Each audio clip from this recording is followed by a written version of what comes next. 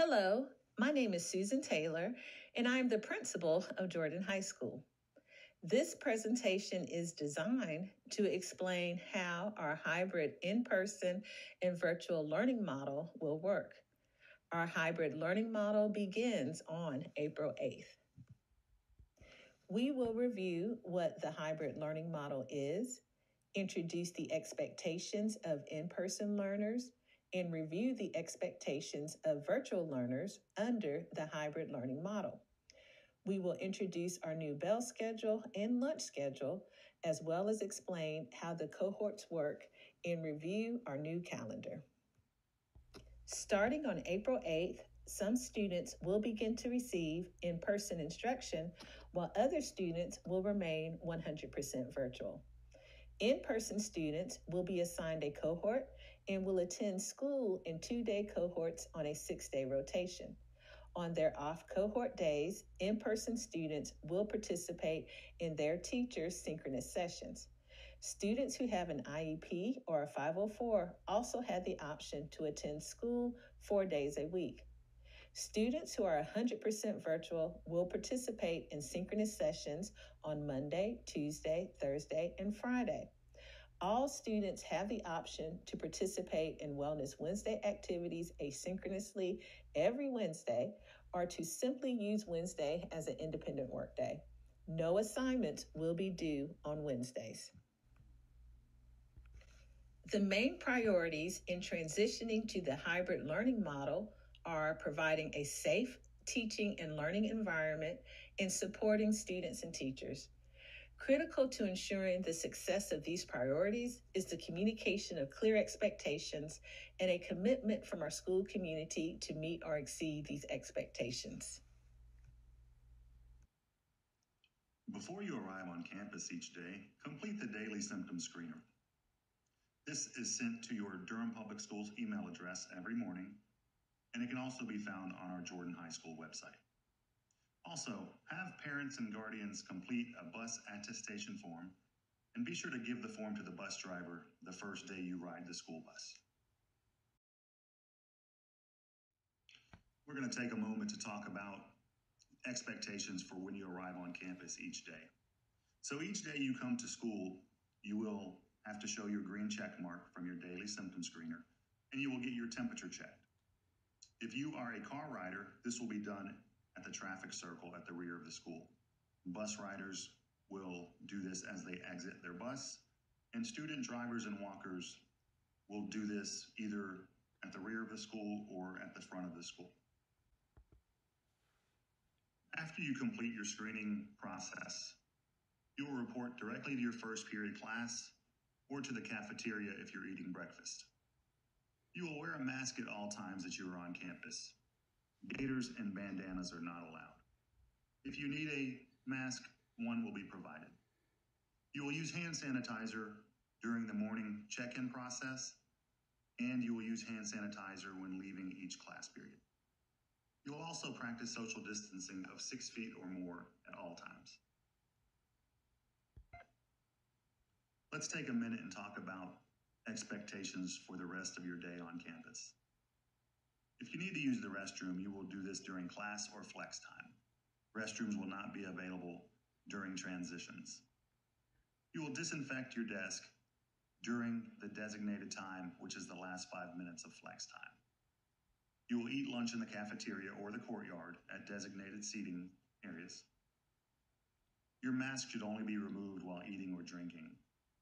There will be no off campus lunch privileges for the remainder of this school year. You will follow the new bell schedule and you will join your teacher's synchronous sessions on your off cohort days. In person learners should bring their charged school issued device daily.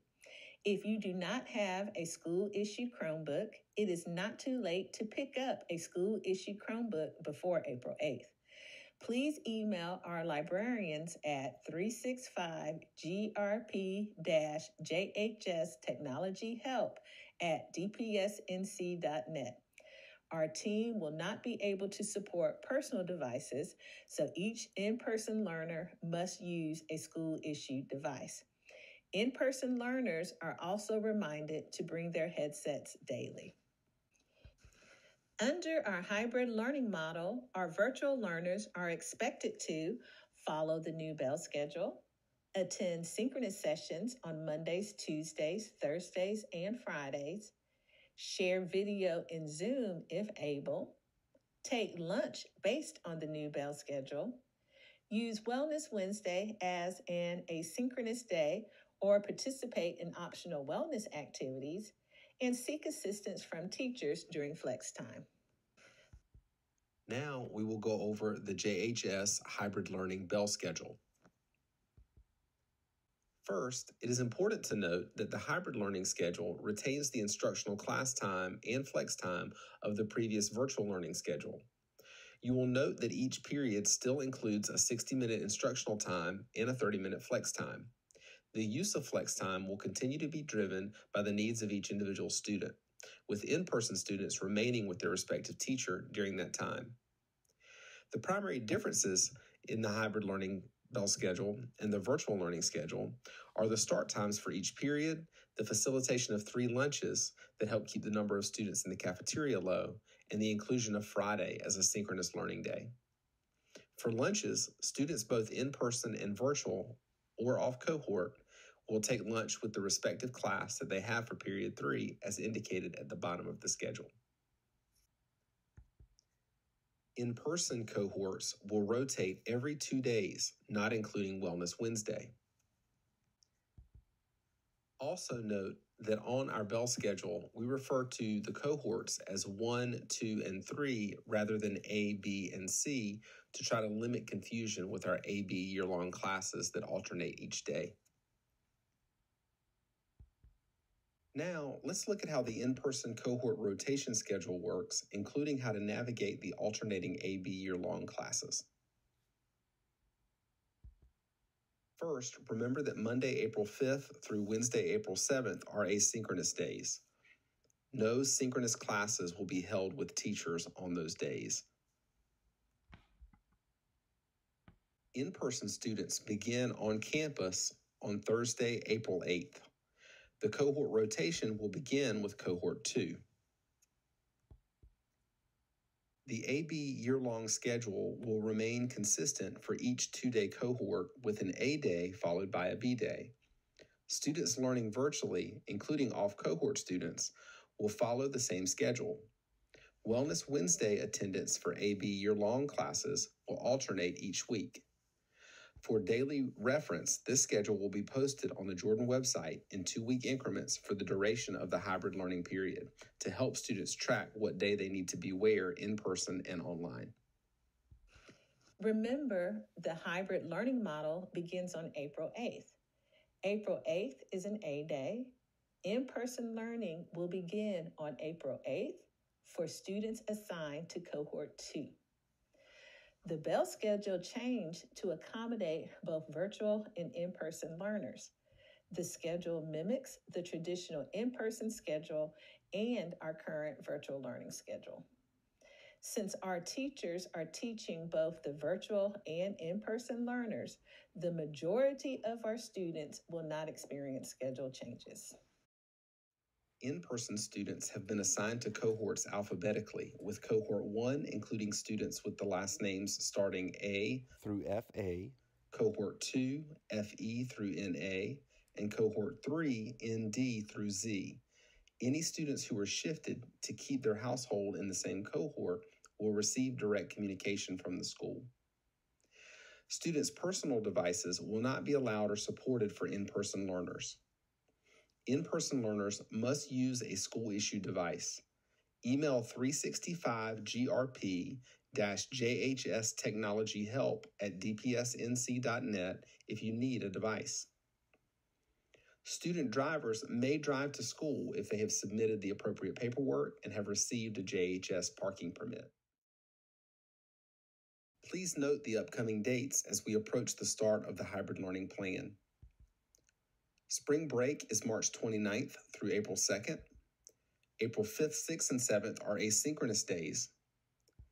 A scheduled walkthrough for freshmen and students new to Jordan will occur on April 6th from 4:30 to 6 p.m. The first day of Plan B and the new bell schedule will be April 8th. April 8th is an A day. Finally, remember that we will begin Plan B with Cohort 2 on April 8th and 9th, followed by Cohort 3 on April 12th and 13th, and then Cohort 1 on April 15th and 16th. We want to thank our PTSA and our school community for the support they provided in helping us to prepare for our transition to the hybrid learning model. Our goal is to ensure that all students graduate on time and with options. We are thankful for a school community who supports this goal. For additional information about upcoming activities or about Jordan, please be sure to follow our social media and visit our website.